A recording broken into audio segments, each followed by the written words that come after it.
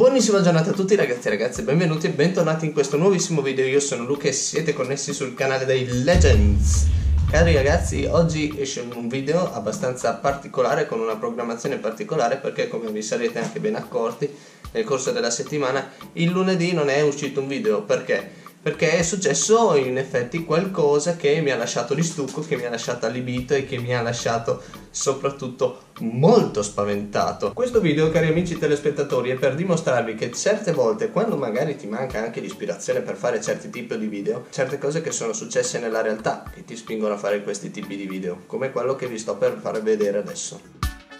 Fortunatamente vi anticipo già, è finita bene nel, in un periodo di tempo molto breve. Se volete ascoltare questa storia vi invito tutti a guardare questo video, se no se siete già soddisfatti di quello che avete sentito potete anche chiudere. Vi invito inoltre a lasciare like, iscrivervi al canale e lasciare un commento qui sotto se anche voi avete avuto un'esperienza simile alla mia. Allora, partiamo dal principio. Sabato 17 ottobre e già qui dal numero vedete che il 17 per convenzione è chiamato il giorno della sfortuna. Io sono il dirigente, come vi ho già detto, accompagnatore in un video precedente, ve l'ho detto che magari vi invito a guardarlo perché comunque è un tipo di fuck you time che ho fatto tempo fa. Dovevamo andare a fare un amichevole, che adesso vedi adesso il nuovo DPCM, le amichevoli adesso ormai non si possono più fare, beh vabbè adesso c'è ancora da vedere tutto quello che verrà fuori da questa reclusione che sta man mano aumentando, spero non come l'anno scorso. Dovevamo andare in una località chiamata Cavezzo, che si trova a Modena. Cavezzo è un paesino di, di campagna che non è un tiro di schioppo da qui, anzi è a un'ora e qualcosa di macchina. Stavamo andando a fare eh, un amichevole. Bene, giunti lì sul posto, come convenzione anche per tutti quanti, uno appena entra si prova la febbre attraverso il, il termoscanner. Allora, questo termoscanner viene puntato a tutti i ragazzi in punto facenti parte della mia squadra, solo che a un certo punto, quando io, che naturalmente ero l'ultimo a entrare, mi rilevano la febbre 38 e il termoscanner comincia a suonare, ho detto, oddio, cosa mi sta succedendo? E sono rimasto un attimo da parte, aspettando che comunque andasse giù la temperatura. Mi riprovano la febbre, 38 continuo, continuo, adesso la mia ansia, vedete che stava crescendo, stava crescendo, stava crescendo, le palpitazioni aumentavano. Naturalmente quando ho scoperto di avere quella temperatura lì sono andato in bambola, ho pensato chissà cosa, ho detto aspetta chiama a casa, ero tutto imbambolato, anche i, i miei genitori ho chiamato pronto, pronto, loro, eh, ma cosa è successo qui e là ragazzi, non vi dico che cosa non vi dico guardate quello che ci siamo detti anche perché non mi ricorderei. Pur sapendo io stesso di non aver avuto la febbre anche perché guidare con 38 di febbre per, per, un'ora in macchina così via sarei già collassato seduta stante. Poi sarebbe evidente, sarebbero stati evidentissimi i segni della febbre anche se poteva essere solo febbre e non necessariamente il covid. A un certo punto continuano a provarmi la febbre 37,3 37,7 valori continuamente diversi. È ovvio che naturalmente qualche difetto c'era io l'ho visto subito che in effetti il difetto era nel termoscanner, però tuttavia la società che provava la febbre e così via non ha voluto sentire ragioni e continuava ad, ad avere quell'eccessiva prudenza dettata appunto dalla temperatura rilevata dal termoscanner. Continuavano a rilevare, in un punto avevo 37,1, e l'altro 37,3 in un altro 38,3 ora ragazzi a meno che io non sia un rettile io queste temperature impossibile che possano sbalzare così tanto da un punto all'altro. Altrimenti sarei già collassato. Aspetto lì poi vado fuori che si rinfresca un pochino l'aria magari ha detto il termoscanner non rileva la temperatura giusta perché magari mi sono accaldato un po' continuava a rilevarmi 39 e 39, 38 e 3, 38 e 1, e l'abbiamo provato con due strumenti diversi, su tutti gli altri non agiva assolutamente, anzi dava 37, 36,9, 37,1 al massimo dava. Invece con me mi aveva preso di mira e io prendevo 38. Ho detto o che sono io davvero malato, cosa che però escludo, oppure che sono asintomatico. Anche gli altri dicevano sono asintomatico. Beh, com'è possibile, scusate? Io 38 la febbre la sento, come se la sento. E poi un'altra cosa, bisogna scartare questa cosa dell'essere asintomatico come non sentirsi la febbre, perché essere asintomatico vuol dire comunque non rilevare neanche la febbre, rilevare solamente nel momento del tampone di essere positivo a un, a un virus o a un qualcosa in generale, mentre invece avere, avere, 38 vuol dire essere manifesto, cioè non essere asintomatico ma bensì sintomatico, quindi dovrei provare i segni della malattia quindi la, eh, io dovrei essere stato sintomatico, non posso essere asintomatico a 38 di febbre.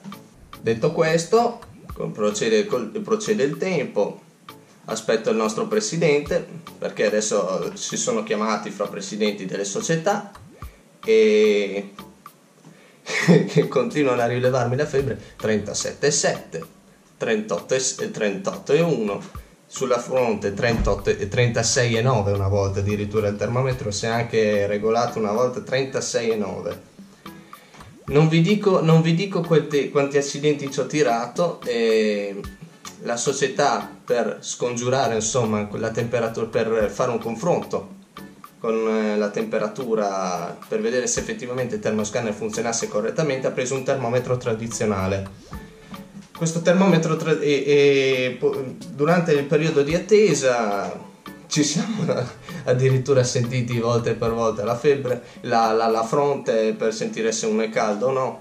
Ci mancava solo che il presidente, il presidente della nostra società dicesse beh in effetti sei un po' caldo perché, ma io cioè, sapevo so di avere questa temperatura tradizionalmente che non va oltre i 37 e di avere continuamente la fronte a una certa temperatura perché io sono io, io so rilevarmi la temperatura da solo sentendomi la fronte.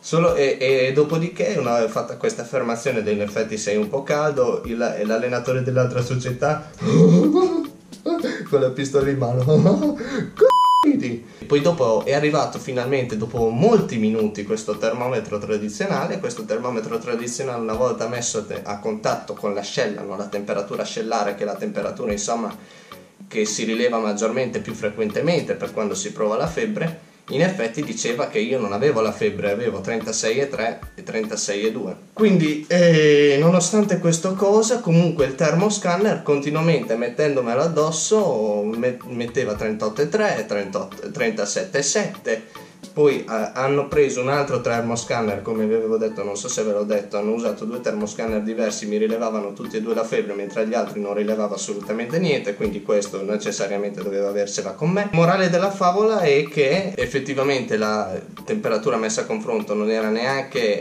paragonabile a quello che rilevava il termoscanner comunque per l'eccessiva prudenza l'amichevole è stata annullata, io mi sentivo come un eh, perfetto so- fonte di infezione, come un, come un eh, potenziale patogeno scatenante un'epidemia per tutte e due le squadre, infatti tutte e due le squadre non appena mi hanno rilevato la temperatura di 38, continuava a, segna- a segnare 38 però io in effetti non avevo niente, le hanno tutti reclusi dentro gli spogliatoi dicendo ah beh adesso è pericoloso perché chi ha viaggiato con lui potrebbe trasmetterla a tutti. Io ho detto no, mamma mia.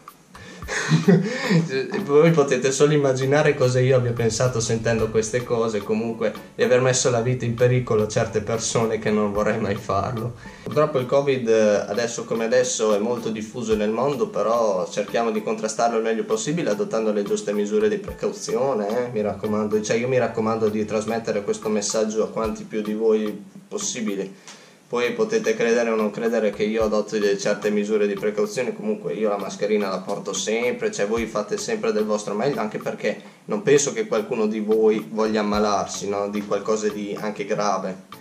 Quindi mi raccomando, eh, non date troppo peso alla, a quello che viene rilevato dal termoscanner, utilizzate se vedete qualcosa che non va come quello che è successo a me dei strumenti tradizionali, strumenti tradizionali che comunque impiegano più tempo a rilevare certi risultati, ma che comunque sono più affidabili di certi più moderni che magari possono avere una, una, un margine di errore più elevato, anche perché il termoscanner non, sarà, non lo metti a contatto con la pelle, il termometro sì. Quindi siamo rimasti lì per mezz'ora per poi tornare a casa, abbiamo fatto 50 e passa chilometri per tornare a casa subito e avevo, mi sono misurato, avevo 36,3, 36,2 comunque come rilevava anche quel termometro là. Morale della favola ragazzi e, e poi ah, un'altra cosa, un'altra chicca che vi do è che dicevano che i termoscanner che utilizzavano là in quella società erano eh, dei termoscanner di ultima generazione che non sbagliavano mai io già li ho capito che... Morale della favola, se andate a Cavezzo, portatevi un termometro di scorta, non si sa mai, quei termoscanner sono scrausi. Approfitto anche alla fine di questo video di dirvi una cosa, una nota di servizio particolare perché con gli esami che sono stati portati avanti nel tempo, ok, dall'università, noi fino al 6 novembre saremo un po' sul chi va Adesso vedremo se registrare o no dei video. Se non andasse proprio come pensiamo con i video, comunque dal 6 novembre in poi torneremo attivi. Adesso non lo so. Morale della favola, ragazzi, io faccio l'influencer, non l'influenzato. Rimanete connessi.